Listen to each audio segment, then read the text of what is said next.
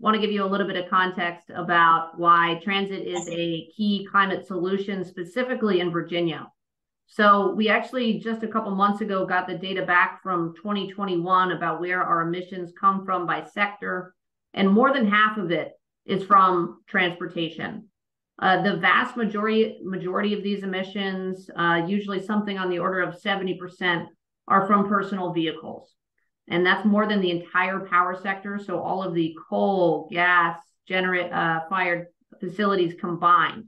Um, truly, if we are moving towards a zero carbon future, uh, while we're supporting policies to electrify vehicles, we understand that's going to take time. We understand for now and probably for some time, it's going to be cost prohibitive for some people. So, not only to promote mobility around our, our communities, but also just as a climate solution, the quickest way to begin decarbonizing our biggest emitting sector is through reducing vehicle miles traveled. Um, next slide, please. Cool. So something uh, that has been a great tool for starting to shift the paradigm in Virginia around transportation is something called Smart Scale. Smart Scale has been around since about 2016, I think, and essentially it's a data analytics tool that Virginia's agencies use to then fund transportation projects. Um, so Smart Scale proposed projects will, will go through the algorithm and it will spit out a score that measures the project um, on things like congestion mitigation, safety improvement, environmental benefits, etc. And then projects that score high get prioritized for funding. And this has resulted in a lot of great projects getting funded. And it's resulted in a lot of uh, biking and pedestrian infrastructure projects getting funded in particular, as well as transit projects. Uh, put here on the slide, you know, we've won multiple awards in Virginia for Smart Scale because it's been so effective at doing what it's supposed to do, which is reduce con congestion, increase safety, and provide environmental benefits. Some of the projects uh, that I wanted to shout out from the regions that we work in that have been funded through Smart Scale, most of which would not have been funded uh, if uh, if we change Smart Scale to some of the proposed changes I'm about to describe, are a commuter bus service in between Windsor and Suffolk in Hampton Roads, the Appomattox uh, River Greenway Trail, uh, the Norfolk Bicycle and Pedestrian Improvement Project, the Broad Street Pulse BRT expansion in Richmond, a shared use path in Manassas, the uh, George Snyder Trail Eastern Extension in Fairfax. These are all amazing projects that increase mobility around our communities, also reducing emissions that probably would not be complete or or uh, some of them are complete, but would not be being worked on right now if we didn't have the smart scale formula that we currently have. Uh, next slide, please.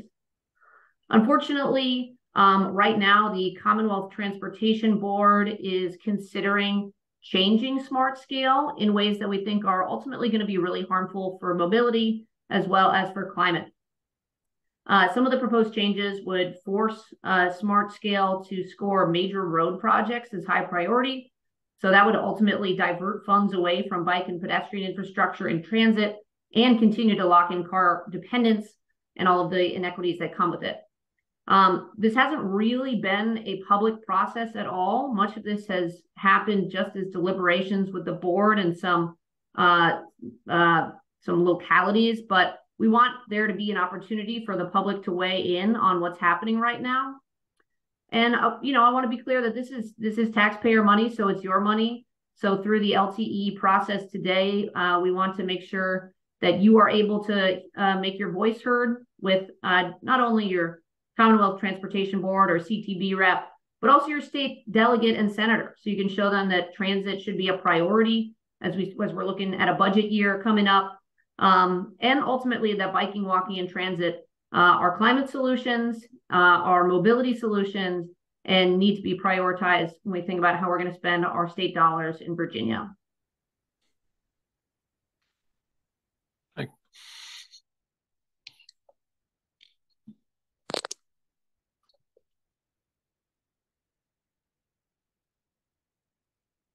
And I'm passing it to Bruce. Thanks, Bruce. Okay, thank you. Hey, I am Bruce Dorries. Um, I'm here to speak about writing letters to the editor. Frankly, I can't even do that in my hometown anymore. Staunton doesn't no longer publishes letters to the editor. They don't have enough staff. So if you still can, that's fantastic. And even if you can't, if you use social media, it's one way to help spread the message about what's going on. So, um, given some thought to things that might be helpful to you, I would like to add that if you don't get anything from this and what I have to say, then simply Google how to write letters to the editor and maybe put Bill McKibben, my hero, how to write letters to the editor, or uh, Catholic Relief Service has a wonderful website on how to do this. What you're going to get from me is just um, a lot of it's based on my experience um, and having written columns for 15 years. Some of the things that work in columns also write in uh, work in letters to the editor. So first, get it off to a solid, interesting start. If you can't, that's okay. If you don't have a, a hook that really uh, motivates people to want to tune in for more of the message, it's still okay. Especially if you can reference in that first sentence information about a recently published article in whatever you're wherever you're sending a letter to the editor.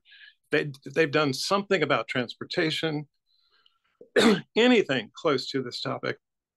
Use that as a way to wedge yourself into the discussion, saying something like, I really appreciate the fact that you did a letter about smart scale. And you can put it in, in, probably more interesting language than that. But if you can, you also want to have a sentence before that, um, something that might be catchy in some way, wordplay. For example, the words scale and smart. We can get smarter with our transportation future if we rescale where we put the environment in our planning, something like that. Or just take a look at the, the website for Smart Scale. And there are phrases like um, keep Virginia moving in the right direction. Use that and turn it and twist it to your purpose because it's just a perfect setup for the argument you, you're going to want to make. Or um, Virginia is for lovers, that wonderful cliche public relations campaign. turn it to Virginia is for lovers, not not what. What is it you're going to be saying needs to be changed or not done? In fact, on the website it says not for litter, but use it for your purposes. Excuse me. Um, so the the hook is important, but don't worry about it if you're stuck. Pardon me. So after you've gotten the editor's attention. By the way, your audience is an editor and they're human beings and they don't want to be attacked. they also don't want to have to work hard. So make your language clear, correct, have somebody proofread it before you send it so they're not struggling to figure out what's going on, what you're trying to do. So next you want to move into the problem. In this case, it's the concerns about what will revising smart scale mean for the state and for us and for the future? Um, one of the things I'm up, I'm not really fond of are, are funds that go into highways and interstates. Um, I grew up in Houston, Texas, maybe the concrete capital of the universe. Maybe I'd mention I don't want to see my my state now going the direction of Texas with its uh, abusive, its retrograde transportation planning. So you want to lay out the problem. You don't want to lay out a bunch of problems. You're not going to try and do a what's called a kitchen sink argument where you list a bunch of issues that you think need to be addressed. Stick with your best, maybe two, and focus on those. Um, you got to have evidence for what you want to argue. So, what are what are maybe some things that you've had experience with in your background that suggests we need to stay away from, from still more highways or provide more public transportation or more bike paths.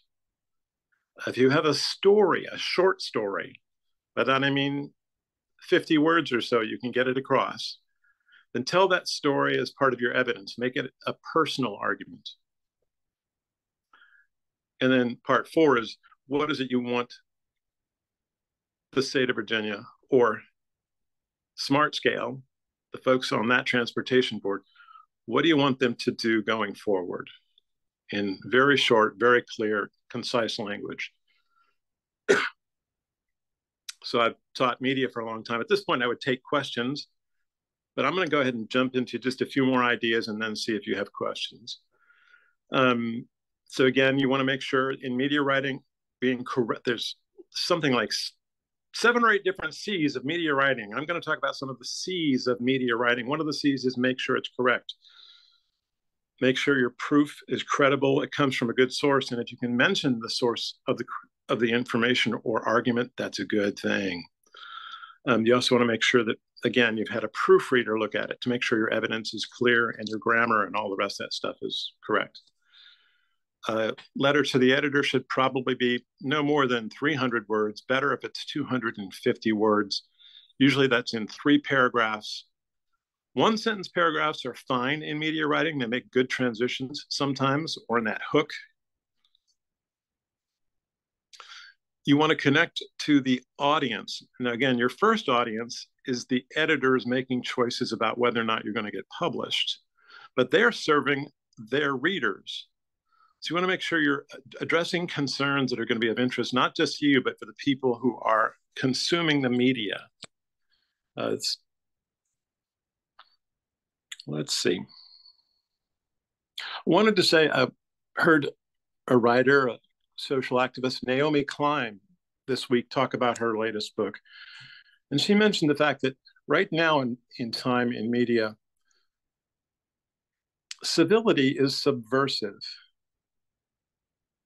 there's so much bile and hatred and anger when you can show the people, the editors, the Board of Transportation, everybody some civility and understanding and thankfulness, even if it's appropriate.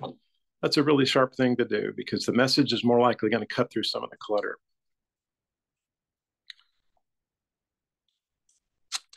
Right now, I think that there's more power in being calm than in being clever or going on the attack. But I guess the the last thing I'd close with is uh,